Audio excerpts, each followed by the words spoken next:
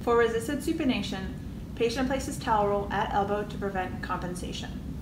Patient stands on TheraBand and turns palm up and slowly returns it.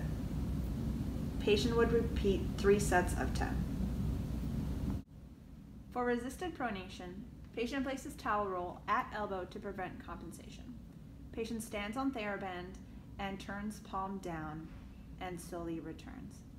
Patient would repeat three sets of 10.